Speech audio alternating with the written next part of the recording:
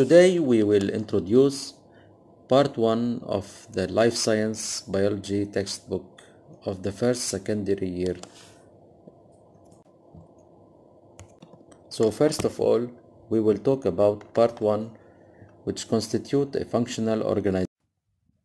In this part, we will discuss function of nutrition and organization in chlorophyllic vascular plants. The study of nutrition of a chlorophyllic vascular plant permits the establishment of a relationship between this function and the specialized structure of the plants. The figure below shows uh, a large variety of green plants which provides the, the whole environment with nutrients and fresh air to breathe. So as we know previously that chlorophyllic plants are primary producers. When exposed to light, they manufacture their proper organic materials from exclusively mineral substances. Water and mineral ions absorbed from the soil constitute the crude sap. This organic material manufactured in the leaf form the elaborated sap. The crude sap and the elaborated sap circulate in the plant through conducting elements. So this information will be discussed in details through this part of the book. This will be divided on three different chapters. Chapter 1 talks about autotrophy and photosynthesis. Chapter 2 will deal will deal with plant supply with raw materials and chapter 3 will talk about the use of photosynthetic products. Problems to be solved through this chapter, chapter 1 I mean, how to prove the existence of photosynthesis. Where does photosynthesis takes place, take place? What are the necessary conditions for photosynthesis to take place? What are the necessary substances for the nutrition of chlorophyllic plants? And these problems are solved according to the given activities. First activity will deal with significance of autotrophy. The second one will talk about photosynthesis, special, special organisms, conditions. The third one will talk about the chloroplast, which is the site of photosynthesis. And the fourth one will talk about photosynthetic gas exchange. According to the first activity, which talks about the significance of autotrophy, the question is, what is autotrophy? Autotrophy is a mode of nutrition by which an organism produces its own food. So as an introduction to this activity, the chlorophyllic plants are capable of living a strictly mineral in strictly mineral medium and of elaborating their proper organic materials. How to determine the needs of mineral of a green plant, how to identify their chemical composition. This activity is divided into two parts. The first part will deal with the importance of water and minerals and the second part will uh, talk according to the first topic which deals with the importance of water and minerals they took in document A page 18 in your textbook two lettuce plants one is dipped in uh, distilled water and another is dipped on the right in a nutritive medium. This nutritive medium contains some minerals necessary for growing plants, green plants. What do you see in this figure? First of all, the lettuce plant on the left grew less than that of the right one, which grew in a, strictly nutritive medium with mineral substances. So what do you conclude? One can conclude that green plants needs nutritive medium or elements um, contained in a nutritive medium necessary for its growth. So if you are asked to interpret this experiment, you will say the plant which which uh, which was dipped in water grew less than the other plant which was dipped in nutritive medium. This indicates that green plants need nutritive medium to grow well. Nor According to document B, which shows the results of the second experiment in which they grew green wheat on an absorbing inert medium supplied with nu- nutritive liquid which is a Knop's liquid or lacking certain mineral ions to test the importance of these minerals for the growing of these plants. In these four pots, they introduced the same green wheat grass and then they introduced in the first one a complete medium containing all the necessary minerals for plant growth. The second one was lacking phosphorus. The third one was lacking nitrogen, while the fourth one was lacking potassium. What do you observe by these results? First of all, the plant one grew the most than the others, which indicates that plant growth needs a complete mineral medium to grow well.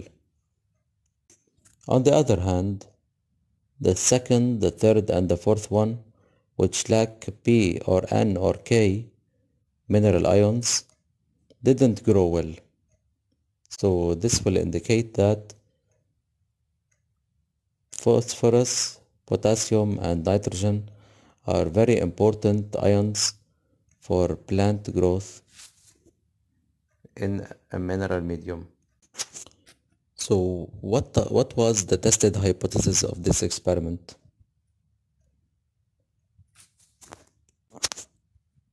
Exactly. It was that P, N, and K are mineral ions necessary for plant growth. And what is the objective of this experiment? Exactly. It was showing the importance of some mineral ions for plant growth. Make sure that you you should know that Knop's liquid ensures the complete growth and development of chlorophyllic plant even without soil.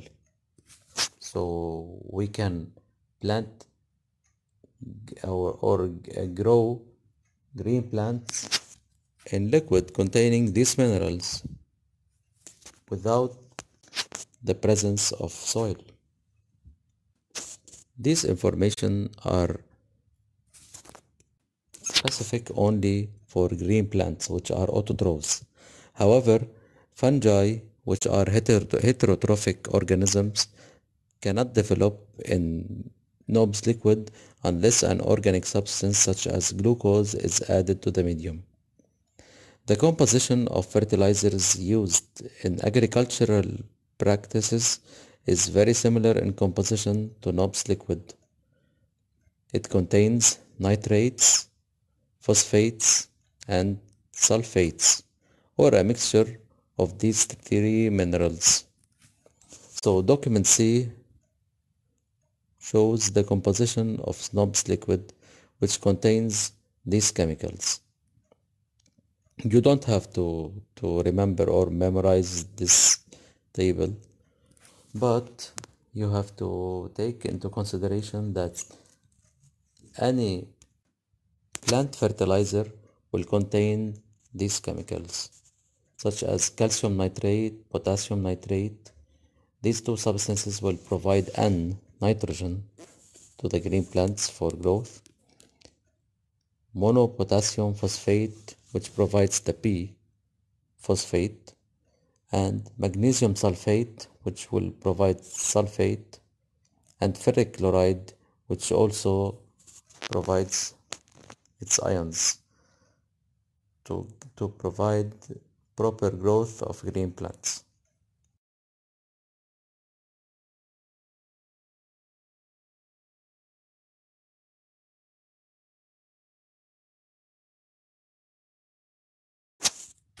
So the second part of this activity will identify the chemical composition of the living materials produced by the green plants. First, document D will show the identification of some organic substances of these living organisms. To the left, we are seeing how to apply iodine test by adding some iodine water to potato tuber that will give blue coloration which will indicate that starch in, is identified in potato and therefore potato contains starch. In the middle, Fehling test will give red brick precipitate upon boiling by mixing the Fehling reagents with grape juice. And this indicates that reducing sugars are being produced by the grape plants. To the right, violet coloration appeared when boiling beans extracts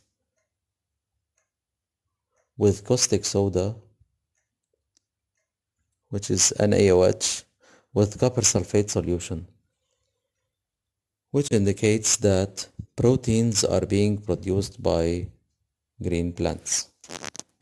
So green plants will produce reducing sugars, proteins and starch.